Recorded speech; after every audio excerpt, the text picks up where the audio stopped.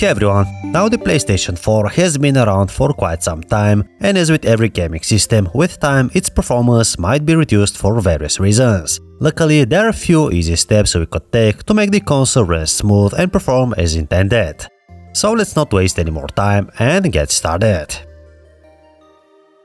First up, let's talk about storage. This is probably the first and the easiest thing you can do with your PS4. A cluttered hard drive can slow down your system. You can head over to settings, then storage and check out what's eating up your disk space.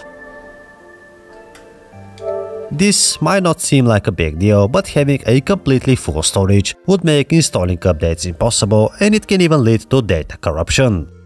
As a good rule of thumb, having between 10 and 15% of your hard drive empty should leave you with plenty of space for virtual memory and temporary files. You can uninstall games and apps you no longer use. Remember, saved game data won't be deleted, so you can always reinstall and continue playing from where you left off.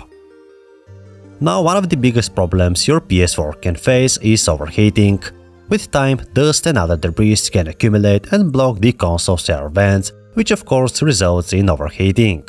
If the fan of your PS4 sounds like it's running into overdrive, it's probably time to clean your PS4 it's a good idea to check and clean the air vent at least one every 5 or 6 months, and you should also remove the old thermal paste and apply a new one once every 5 years. The process is not that complicated, I have a dedicated video on that topic. Next guys, another pretty efficient method is rebuilding the PS4's database. That's like defragmenting a PC hard drive and it can help with loading times. Rebuilding the database on your PlayStation 4 is useful for cleaning up the data as it reorganizes everything on the hard drive. This is a great thing to try if you're experiencing issues such as game freezes or FPS drops. Follow these steps to rebuild your console's database. First we have to enter safe mode. Turn off your console, then press and hold the power button until you hear two beeps.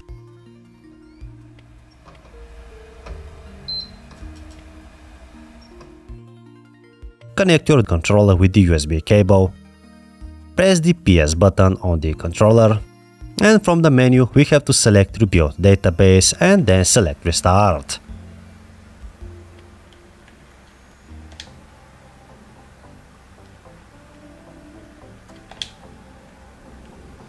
This scans the drive and creates a new database of all your content.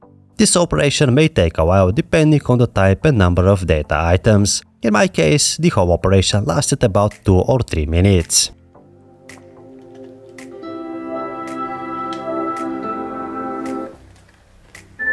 For the PS4 Pro users, there's a boost mode. It can enhance performance for games that aren't optimized for the PS4 Pro.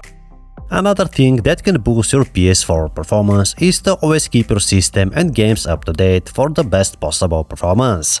Making sure the PS4 is up to date with the latest software can improve its performance. Regular updates can fix bugs and enhance your system efficiency and stability.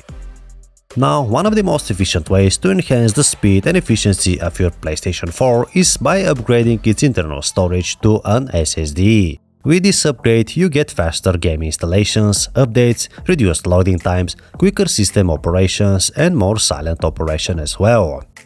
Overall, if you're up to it, upgrading your PS4 with an SSD is a worthwhile investment that can breathe new life into your gaming console. Lastly, let's not forget about your internet connection. A wired connection is more stable than Wi-Fi and make sure to close any background apps that could hog your bandwidth.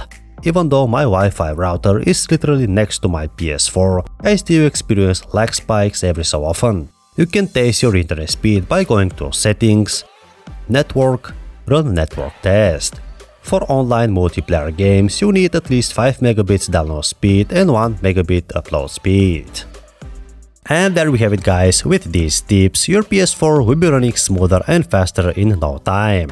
If you found this video helpful, hit that like button and don't forget to subscribe for more similar content. Thank you all for watching and see you guys in the next video.